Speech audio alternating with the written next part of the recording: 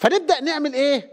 نقدم القرابين. طب الشعب مظاهرات في السودان عشان لقمة العيش مش عشان فلسطين بس عشان لقمة العيش.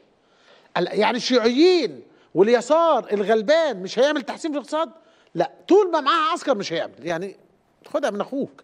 طب والإمارات والفلوس؟ لا الإمارات والفلوس دي جاية عشان تبقى محطة ونروح لليبيا عشان نهزم الثورة اللي في ليبيا. ركز. فالنهاردة عمر البشير الحكومة توافق على مسؤول الرئيس السابق أمام المحكمه الجنائيه الدولية. صلاة النبي أحسن.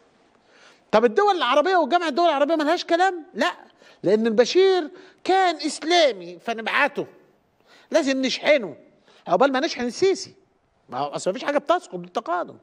ونشحن ولاد الكلب التانيين. كل ولاد الكلب ال... كل العار اللي موجود في العالم ده يتشحن. لازم يتشحن. مفيش حل.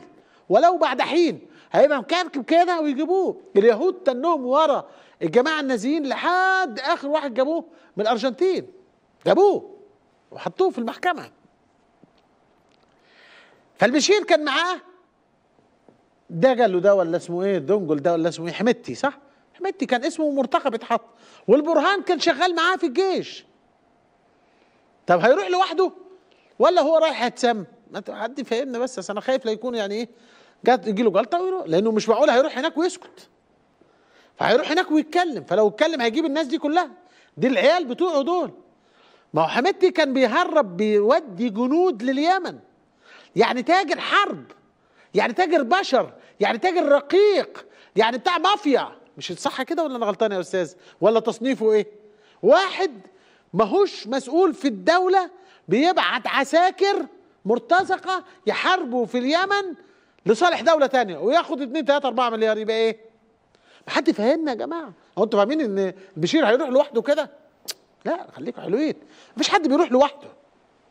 في الناس بتجيب بعضيها. زي ما حصل في البرازيل والأرجنتين. والناس بدأت تجيب بعضها في الأرجنتين بعد ما حصلت الثورة والتغيير أو التغيير يعني حتى اللي حصل بانقلاب عسكري سياسي يعني بدأوا يتكلموا عن بعضهم الناس اللي كانوا مع مع الدكتاتور الأرجنتيني كان منهم واحد جات له لحظة ضمير وقال يا جماعة أيوه واعترف على زملاته كلهم تصدق؟ وقال لهم إحنا دافنين ناس في المبنى بتاع وزارة الداخلية. وهذا ما أتوقعه في مصر.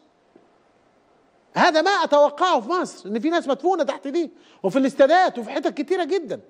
لأن الدولة دي دولة خبيثة سلطة خبيثة سلطة خبيثة فعلا يعني. وكيانها متركب على إنه إهانة الناس. ف 11 فبراير بالنسبة لي بقى أزمة مش بقى لحظه انتصار. للاسف أنا آسف بقول هذا الكلام. لأنه بين لك إنه إزاي وقعت الثورة وتضحيات الناس في حجر وبعدين حصلت انتخابات والشعب فاز بس الشعب لما فاز بقى مقسوم اتنين. تعالى برايز وتعالى ومجمو ومانجو والبتاع مش عارف إيه. تعالوا إيه نقف ضد مين؟ ضد الرئيس المنتخب شرعيا. ويجي عبد الفتاح السيسي يلعب الدور اللي هو إيه؟ المعروف. إنه أنا المنقذ وياخد السلطة من جديد وتمشي الأمور بقى على النحو اللي أنت شايفه دلوقتي واللي لا قبل لأحد به إلا أن تأتي من الله سبحانه وتعالى. نعترف إنه يعني المسائل دي محتاجة جهد أكتر شغل أكتر.